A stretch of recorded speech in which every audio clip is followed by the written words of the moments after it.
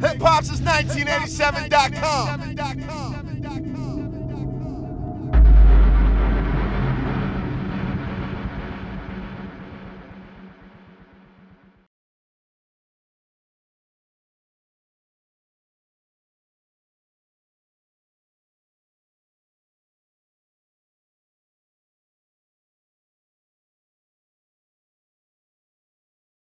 Welcome to Atlanta for a great day in Hawks history as we introduce our new general manager. My name is Bob Rathbun, the television voice of the Hawks on Fox Sports Southeast, and we'd like to welcome all of you here in attendance at Philips Arena this morning. And also those of you who are watching us in a variety of ways. We are streaming live on Hawks.com. We are on Facebook Live. We're also on the air on Fox Sports Southeast and on the Fox Sports Go app. So we welcome one and all to the introduction of Travis Schlenk. Uh, we would like to, before we get going, point out that uh, Coach Budenholzer would love to be here, but he's attending the high school graduation of his son. But I am assured that Coach Bud is watching on Hawks.com today and uh, sends all, obviously, his best and wanted to be here as well. And that his son will graduate. Yes, and we think he's, he's on track, so that's good. Uh, we would like to uh, welcome all of you. Our owners are in attendance uh, as well. Uh, that are here today for this, uh, this great day, and a very significant day for the Hawks. We would like to begin with remarks from our principal owner, Tony Ressler. Tony.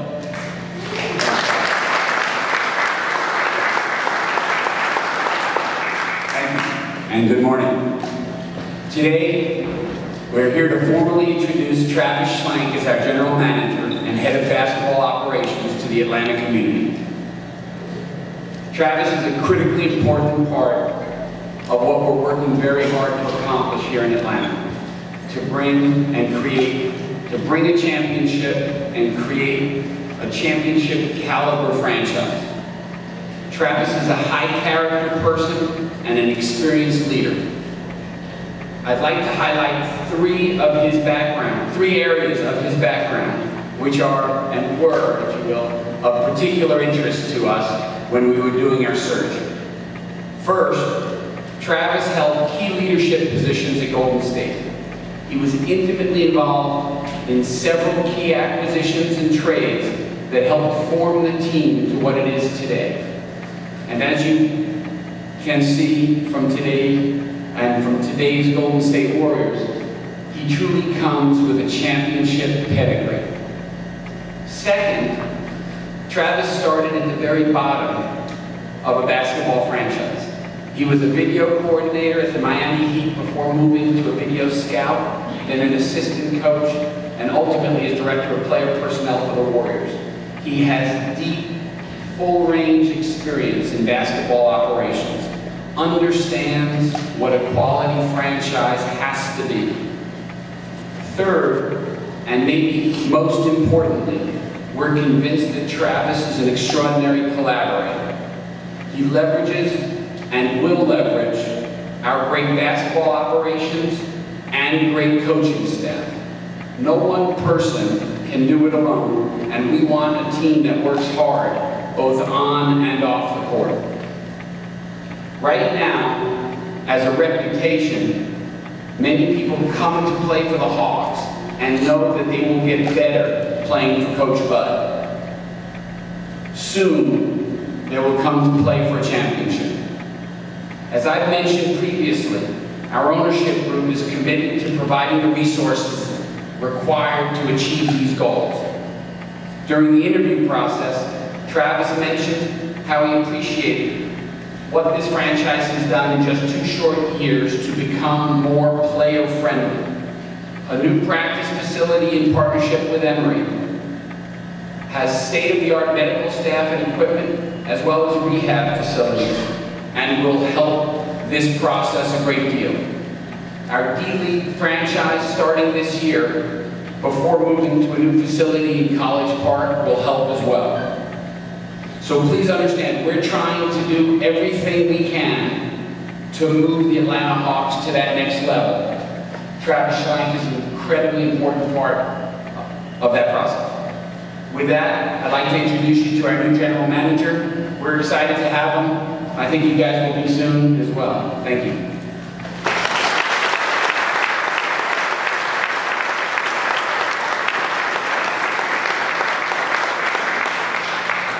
Thank you, Tony. Um, The success that we had in Golden State started with great ownership. Going through this process, the interview process, getting to know Tony, uh, spending time with Jamie, the minority owners, Grant, Stephen, and Rick, I felt the passion they have for this franchise, not only the franchise, but the community of Atlanta. Uh, As Tony just mentioned, the resources they're putting in with the new practice facility, the D-League team, uh, the renovation they're going to be doing to the arena here, and then also for the community, the redevelopment they're going to be planning downtown. You can sense where they want to take this organization, and that was a really big part of me wanting to come here and be a part of that. So Tony, thank you for allowing me to be a part of that. First off, uh, I need to thank my wife. Uh, My wife is the backbone of our family. I've got three young kids, and without her keeping it together at home, I wouldn't be sitting here today. Uh, She's, she's been there from day one with me, so I really need to, need to make sure that I thank her. So we got that out of the way. Can never go wrong with she, as I've learned many times. No, she couldn't be here today. My kids are still in school back in California, but uh, I know they're watching, so just want to let them know that without them, I wouldn't be here. Then I've been unbelievably fortunate in the past to work with some of the best people in the NBA, starting as an intern with the Orlando Magic, uh, when Chuck Daly, John Gabriel were the head coach and general manager, and being able to learn from those guys was a great stepping stone. Then, as Tony mentioned, I worked in Miami. Pat Riley was the patriarch of that franchise, obviously. But the other coaches that were there, Stan Van Gundy, Jeff Bzdelik, Mark Arbaroni, and obviously Erik Spoelstra, all those guys have gone on to be head coaches in the NBA, and to be able to spend time with them and learn from, from them was very important to my upbringing in the NBA. And then obviously in Golden State, we had Don Nelson, Chris Mullin, and then the current group we have now, Joe Lacob, Peter Guber, Bob Myers, uh, Larry Riley in the beginning, and then obviously Jerry West, as you guys know, he's someone that uh, I've come to grow very close to, and obviously his legacy speaks for itself. Now it's time to get to work. You know, we're here day one. We've got the draft coming up in a little under three weeks. We got free agency, free agency following right after that. Now it's time to get with Coach Bud and his staff, the basketball operations staff we have here in place, and we're going to start working, and putting together a plan for the future. Um, It's same for every team this time of year. We, we have, we have the draft every year, we have free agency every year, so this is gonna be the process moving forward, but being new here, it's time to bunker down with these guys for the next three weeks and get to work so we can make these decisions. What I can tell you today is the philosophy we're gonna have moving forward. As Tony mentioned earlier, we're, we're gonna be player-friendly. Uh, I feel like we've got a great base for that. We're gonna continue that. We're going to not only make this a place players want to come, but their families still a part of the community as well. And that's going to be a big part of what the Hawks basketball organization is going to be moving forward. We're going to be extremely communicative from the top down, from ownership all the way to the bottom of basketball operations. Everyone's going to know what our goal is. You're going to know how they fit into that goal, and we're all going to be pulling on the rope in the same direction, so to speak. As Tony mentioned, I'm a very inclusive person. So everybody's going to be involved. Uh, I I accept ideas from everyone. I'm not someone that's going to sit in a room by themselves and think they have all the answers. We're going to be inclusive. We're going to work together, and we're going to come to the best decisions that we can make. Finally, we want to build a championship quality team that's sustainable. We want to be in the conversation every year of a franchise that can compete for a championship. So that's going to be our end game. With that, um, we'll open up for your questions. And if you would please uh, identify yourself and your media affiliations so those that are watching can hear as well. Several more from the Atlanta Journal-Constitution. Tony, actually, I'd like to start with you. I just wondered how much more you can expand on the search process. How many candidates did you talk to?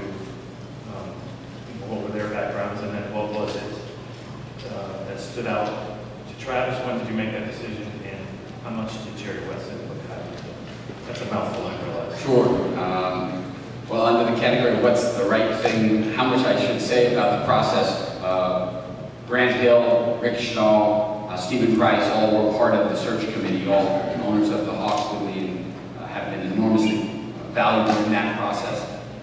I, I don't know exactly how many folks we met, but uh, eight or 10, I think would be a fair summary. Um, We met a whole lot of talented people, uh, some really, really strong candidates. Uh, I think the, uh, the the breadth of the experience that Travis had, uh, as I said, uh, having every job in a, in a basketball operations, understanding what everyone does in basketball operations, having that championship pedigree, uh, having the type of mentors uh, and uh, colleagues that Travis had, he, he separated himself in our discussions, uh, both in his technical skills and his understanding of what it takes to build a great franchise. Uh, so uh, I don't want to diminish some of the folks we met. Some had some extraordinary backgrounds, if you will, but uh, we thought at least that Travis did separate himself in a meaningful way. Uh, again, under the category of uh, Jerry West reference or whatnot, uh, Jerry's a great guy and knows a little bit about basketball and uh, I think has an amazingly positive view of Travis, but for the right reasons. And it came across, uh, it actually did have some influence in, in that process because it's hard not to take some of Jerry's advice. You may not want to take all of it, but hard not to take some of it. So, but for what it's worth, there were a whole lot of other references uh, that we went through uh, far beyond Jerry. Uh, and it's uh, rather extraordinary how consistent uh, those references were. How you doing, Travis? Brandon Lee from the Fan 680 93.7 FM. Uh, First, your impressions of the team as the players are under contract, uh, as constructed as players that you have under contract. Two, um, is it important for you to have a timetable for getting the organization to a championship level? Some GMs uh, talk about having timetables and timeframes. Are you one of those? Um, First of all, thank you. Um, To answer the second part of your question, uh, it took, from when I got to the front office of Golden State to where they where we are right now, or where they are right now in Golden State, seven years. Um, So it's, it's not a quick process, you know, it takes time. And the way you get there is by maintaining your flexibility, accumulating assets, and developing your own talent. As Tony said earlier, we have in Coach Bud and his staff a great group of coaches who've done a great job historically of developing talents. So we're in great shape there. We have 11 draft picks coming up in the future, so we have flexibility and assets there. So we're actually in a better place right now than Golden State was when I started there. Now, that doesn't mean that we can get there, you know, in seven years, but we're, we're, we're in a good place to start building for the future right now. Um, as far as the players on the roster right now, we, we have, obviously, we have a good team here. For 10 years in a row, this franchise has been in the playoffs, so we're fortunate. Most of the time when guys take a job at my level, they're getting bad teams. I'm inheriting a good team with a, with a nice foundation uh, that has some flexibility, and that's what we're going to look to maintain. And as we get to a position where a trade or an acquisition comes available for a superstar, we're going to be in position to do that. Jonathan Simmons from Real Talk Sports, WIGO 1570. Uh, I know that some of this is based on personnel, but have you and Coach Bud talked a little bit about the type of style that you want to have from Atlanta Hawks? And if so, what is that? Yeah, no, Coach Bud and I had spent a few days together, you know, just getting to know each other. We were acquaintances, but um, not close friends by any means. But we were off to a great start on that, and we share a lot of the same philosophies. And I think, you know, the ball movement, the sharing the ball, the spacing the floor, all those things are things that we both see eye to eye, and those would be things that we want to look at in the future, for sure.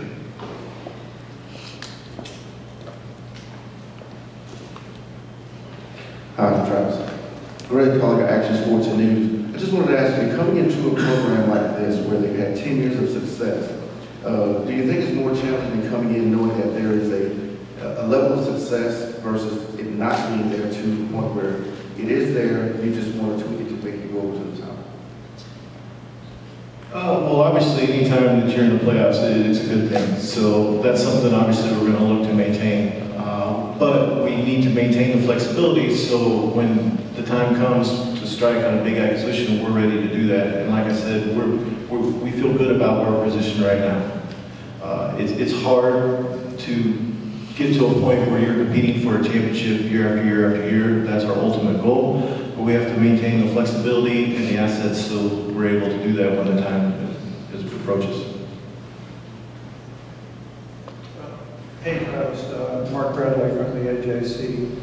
Uh, Mr. Ressler described you as a collaborator, but it is true that you're taking a job that, that is, at least part of your title has been held by a guy you're going to be working with here. Uh, Do you foresee any issues meshing with Coach Budenholzer, or do you think you guys can be simpatico? Uh, as I mentioned just a second ago, uh, Bud and I were acquaintances. We've probably spent uh, over the last three or four days, you know, four or five hours a day together just getting to know each other. And I, I have no reason to believe that there will be any issues with Coach and I. Um, I have the utmost respect for him as a coach. I think that as an organization, we're extremely fortunate to have him because he's one of the best coaches in the league, in my opinion.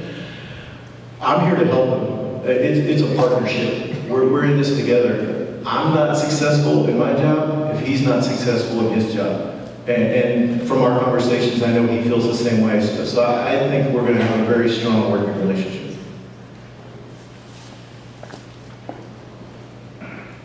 Everybody, just move on sporting news. Um, Travis, you've been around a lot of championship organizations, a lot of winning organizations. You've seen what it takes to win. What did you see in Atlanta that showed you that it could be on that same level? And if not, then what does will it take to get you to that level? Yeah, I mean, that, that quite simply was getting to know Tony and the rest of the ownership, like I said, Grant, Steve, Rick, those guys, those guys have the passion to, to build a winner. Like, you need to be able to have the resources to build a winning organization. Um, from my time you talked about Miami, great ownership there with the Arison family. Uh, in Golden State, when the new ownership group, Joe Lacob and Peter came in, the same passion that I felt from this ownership group. And I, I was, quite frankly, in a great situation in Golden State. Um, and it would have taken a very good situation and a very good ownership group like we have in place here uh, to get me to leave. And that, that, that's the simple answer. It really is. I know you haven't been on the job very long, but there's a huge decision this franchise has to make in regard to Paul Millsap. And I wonder what you can tell us about um, how big of a priority is that? How do you see, do you see him as a part of your future? What can you tell us about? Because that's the first of many dominoes, I would imagine. Yeah, listen, these are decisions that happen every year, first of all. Free agency comes every year. It's not like this is the only year we have free agency. Paul, obviously, is a four-time All-Star. Uh, arguably the best player on this team, probably is the best player on this team, so that's going to be a priority. But for me right now, I've got to get with Coach Bud and his staff and my front office staff, and over the next three weeks, we've got to hammer out a plan for the future, and certainly Paul is going to be, you know, a priority in that. Um, I- I- obviously, I mean, for your own self, you were watching the draft and me, excuse me, watching college that- So how do you take that with what the Hawks have to kind of change that information and combine it with what the current staff has here as far as getting ready for the draft and free agency? Um, well, I think I understand what you're asking. I mean, we're a little different in Golden State. This year, we didn't have a pick. Um, so we were more focused on, you know, second round picks because we historically in Golden State, you know, looked to purchase picks. Um, the draft is not an exact science. Like, there's not one foolproof way to be successful. You know, you're going to make mistakes in it. And we've always kind of said in Golden State, if we could be right 60% of the time, we've been successful in the draft. So to use the analogy, the more swings you get, the more chances you have to get hits. You know, this year we have three picks. You know, in the future we have 11 picks. So if we can be right more than we're wrong in the draft, we're, we're in a great situation to get young talent. And as I mentioned earlier, our coaching staff historically has already proven they can develop that young talent. So that's what I mean when we have a bright future with assets that we can move forward.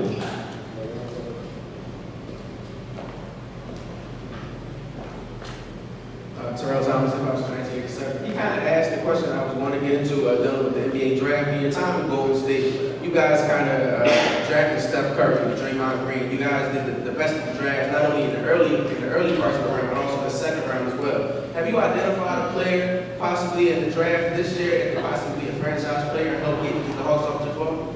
Uh, you know, franchise player for where we're picking at 19 and 31 and 60 is obviously hard to do. Uh, but there are certainly are players that I've identified in the short time I've spent with our, our front office staff that, that we like. Um, we think that there'll be players, you know, I don't want to use franchise player, but there'll be players there that we think that can help us in the future for sure.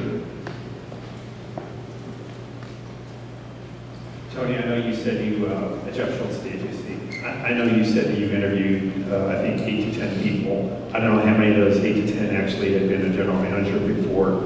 Um, You're welcome to tell us now or no. How many of them have been general? Had been, how many of those to 10 have been a general manager?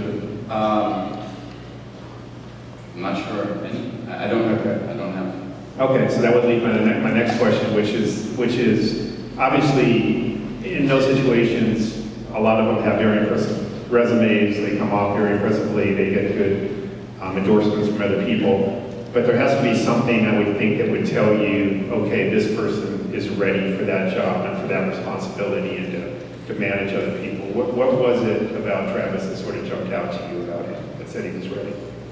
Well, I I think the two issues we have to deal with, we keep saying, we're pretty successful. We've been in the playoffs for 10 straight years. Uh, I don't know if it's 20 or 25 of the other owners in the NBA uh, have, uh, maybe not all 30, but 20 or 25 uh, would die for that track record, frankly. Not 29 as we hope, because there's only one other that has been in it longer. But, so the vast majority of owners are so impressed, uh, as many fans I think should be. Uh, We've tried to win every year. Uh, But there's no doubt that over the past two years, what we've seen and what I've said is, uh, the goal is how do we make better decisions? How do we have more firepower in the front office uh, with that, uh, if you will, comfort level that we can get to the next level? I I think, and we felt, that Travis absolutely has that uh, understanding, has seen it firsthand, uh, and I'd say as importantly, and we've now seen this firsthand and uh, have learned it in our reference checks, Travis understands every part and does the work. Uh, understanding players and recruiting players and understanding what makes a franchise player friendly. All of these are critically important for us. And we met a whole lot of folks that seem to have strengths in one of those areas. Maybe in recruiting, maybe in evaluating player personnel, maybe in understanding an organization, uh, maybe in understanding what a championship is with a championship background. But we didn't find folks, any individual that we felt offered all of the above until we ran into Travis and spent with him. So again, as they say, nothing in life is certain, but we feel incredibly comfortable with Travis's experience across the board with what we're trying to achieve here in Atlanta with the Atlanta Hawks. Brandon Lee again from Advanced State 93.7 FM. Travis, what are your general philosophies on being a tax-paying team in case you need to go over the cap and get what you need to do what you would like to do? Well, that's probably a better question for Tony, but I do, I can't answer that.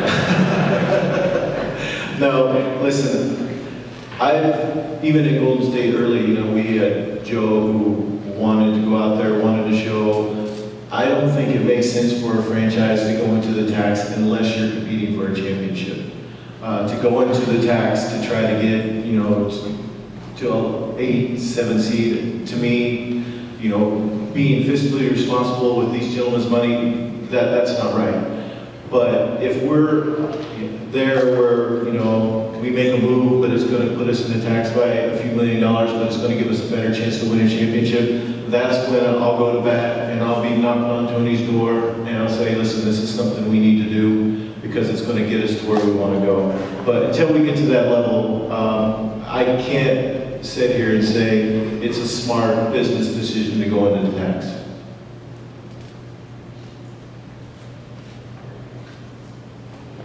I'd share that view. Travis, very probably next sports news. I wanted to ask you a question question about what, what type of chemistry is required between coach, owner, and general manager to make that formula for success? It, it all starts with communication. Uh, you know, I've been asked this in the past. You have to have a clear line of communication from the coach, from the owner, and from the general manager. And, and really, that's a big part of, of my job, is to maintain that communication, keep those lines open. Um, but when you start to see a breakdown in that communication, that's when you start to think things go off the rails. Um, so it, it's extremely important that everybody's on the same page and you have that communication. Tony Zach Klein from WSB, welcome to Atlanta. Um, What questions or reservations did you have, um, from the outside looking in, that you, when you visited with Tony, he kind of calm you down or you whole? Uh, I wouldn't say reservations that I had, but like I stated earlier, when I got to meet Tony uh, and the rest of the group, I felt extremely comfortable with them, and you could tell the passion they had for the city and, and the franchise, obviously. That, that's just, having been with Golden State and Miami, like, it's unbelievably important to have ownership that's invested um, and cares. And, and that, that's something I felt right away from, from all four of the guys that I met with, you know, Grant, Rick, and Steven. Um, and then obviously Jamie, who I met with, with Tony uh, later on in the interview process. There's just no doubt the communication process, except for maybe during games where if Dominique's not speaking on the, on the television, maybe I'll go to Dominique and ask him what he sees, but being able to text with your GM and being able to complain about what you see or be excited about what you see. um, But you can't communicate with your coach during the game, so you need someone. Uh, But communication is of critical importance. And I think we're going to have that uh, and improve that dramatically. Great, gentlemen, thank you very much. Travis, congratulations, and welcome to you and your family to Atlanta. Thank you.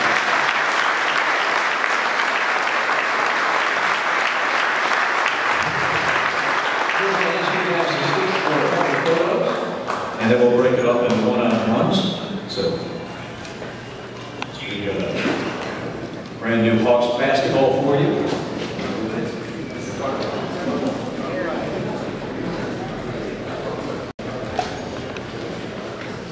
You've done it all. I mean, assistant coach, video coordinator. Was there a point at which you weren't really sure what you wanted to do in your basketball career, and and then at what point did you think, you know, I think I want to be a GM? No, um, I always wanted to be on the coaching side. That's the side I started on. Uh, but when I worked for Don Nelson in Golden State, uh, you know, he said you, you really have a good eye for talent because you know in our coaches meetings we talk about game planning and prepping, and he goes, you, you should really take a hard look uh, at the front office side. He goes, you know, the other person I told that to was my son Donnie, uh, the general manager, president of the Dallas Mavericks, and so they started putting me on the road, going to pro play personnel, D League games, and then Larry Riley the next summer became the general manager, and he asked me to come on the front office side uh, to be director of play personnel.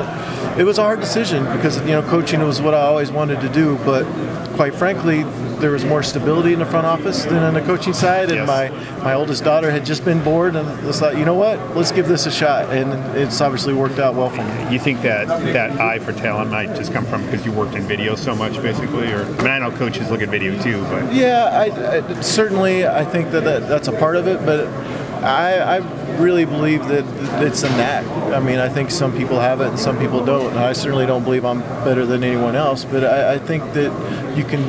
You just, it's a knack. I think the people that are really good at it. a lot of people can look at a film and say, okay, he's fast, he can shoot, he can do this, Exactly. big hands. But what?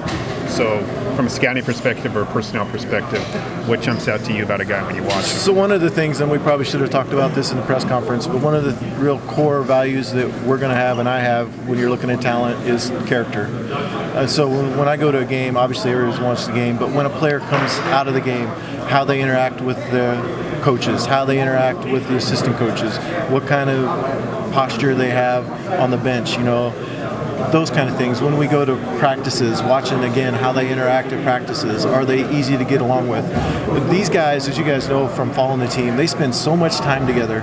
If you have bad character guys or guys that are just tough to be around every day, it just brings everyone down. So that's going to be a big, big thing we look at. You can really tell the difference, can't you, when you watch a team, kind of how together they are? I mean, Yeah, for sure. And just little things. Like one of the things that I've said and it brought up to guys, like when a guy's shooting free throws, whether the whole team goes and gives the guy five in between free throws. It's just little things like that. You can tell how connected a group of guys are.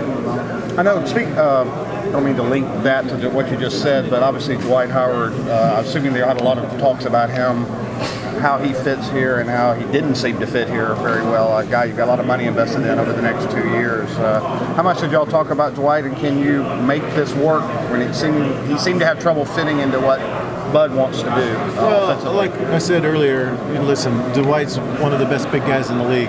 Um, you know, as far as rebounding, protecting the rim, he's a big reason why Atlanta was one of the best defenses in the NBA last year. I, I personally have not spoken with Dwight yet. Uh, we've exchanged some text messages, but I certainly plan to sit down. Uh, I don't judge people on what I hear. I, I'll judge people when I have a chance to sit down and talk to them. But he's, like I said, one of the most productive big guys in the league, so he's important to us. Tim Hardaway Jr., um, from what I say, he's been working out with the team, obviously not currently under contract. What, what are the plans with him, if you can share? Uh, similar to what I said earlier with the Paul thing. Obviously, he had a great year last year here in Atlanta, uh, a bit of a breakout year. He's a restricted free agent, so it gives us a little more leverage in the negotiations for sure. But he's a guy that we value here, and I'm going to sit down with the staff and you know figure out where, where that fits in. But you know, we're we're Tim fans here for sure. is, is there anybody on the roster right now, seriously, where you can look on and say, they're not going anywhere, he's going to be here next year? Or is everything on the table? Uh, Does it back you into a corner a little? it's a tight corner. Listen, uh, the easy way to answer that is, you know, we, we like this team. I mean, this team was a playoff team. You know, arguably could have had home court. You know, if they get a couple games here or there, they're a home court team. So, but you know, let's be honest. If Cleveland decides they wants to trade LeBron, we're going to have conversations about acquiring that. So, you know, we have to be realistic where we are. You know, we have Paul, who's an all-star. You know, he probably, you know, he's our best player. So it would take more to acquire Paul from us. But there's other guys. You just kind of go from there. But I don't like the term untouchable. But you evaluate each deal as it comes along.